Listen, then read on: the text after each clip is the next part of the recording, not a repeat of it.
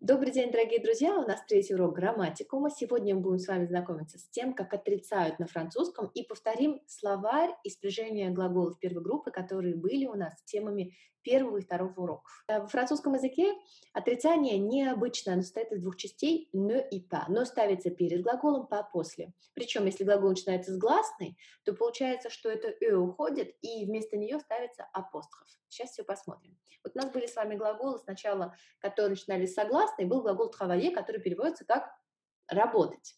И давайте посмотрим, как глагол спрягается в отрицании. Обратите внимание на то, что я вам говорила, «но» стоит перед глаголом, а «па» сразу после него. Вид уже после всего в самом конце. Произносим. Je ne travaille pas.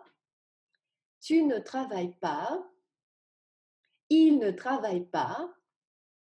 Elle ne travaille pas. Nous ne travaillons pas. Vous ne travaillez pas. Il ne travaille pas. Elle ne travaille pas. А теперь с сочетаниями. Je ne travaille pas vite. Быстро. Tu ne travailles pas lentement. Медленно. Il ne travaille pas avec plaisir.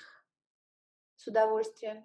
Elle ne travaille pas pour gagner sa vie, чтобы зарабатывать на жизнь. Nous ne travaillons pas longtemps, долго. Vous ne travaillez pas un peu, немного. Il ne travaille pas beaucoup, много. Elle ne travaille pas sur la plage. И voilà, то есть не сложно. Дальше. Если глагол начинается с гласной, то везде «ne» усекается и образуется апостроф. И получается «je n'aime pas», «tu n'aimes pas», «il n'aime pas», «elle n'aime pas», «nous n'aimons pas», vous n'aimez pas, il n'aime pas, elle n'aime pas. Обратите внимание на то, что так как здесь есть «n», «z» уже не будет. Нет у нее возможности образоваться. Посмотрим еще один глагол. Écouter, слушать. Je n'écoute pas, tu n'écoutes pas, il n'écoute pas, elle n'écoute pas, nous n'écoutons pas, vous n'écoutez pas, il n'écoute pas, elle n'écoute pas. Вуаля, вы можете переслушать еще несколько раз и повторять за мной, чтобы одновременно работать и над акцентом, и запоминать, как окончание у нас произносится, скорее даже не произносится. Еще один глагол. Je ne déjeune pas au restaurant. Я не обедаю в ресторане. Tu ne déjeunes pas au travail. Ты не обедаешь на работе. Il ne déjeune pas avec plaisir. Это вы уже знаете. Elle ne déjeune pas à la cantine. Столовая. Nous ne déjeunons pas longtemps. Знаете.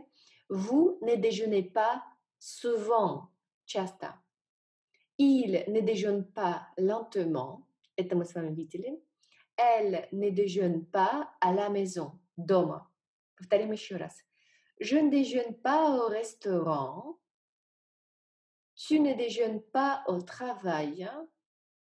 Il ne déjeune pas avec plaisir. Elle ne déjeune pas à la cantine. Nous ne déjeunons pas longtemps. Vous ne déjeunez pas souvent. Il ne déjeune pas lentement. Elle ne déjeune pas à la maison. И посмотрите глаголы, которые вам нужно будет дома проспрягать самостоятельно в отрицании.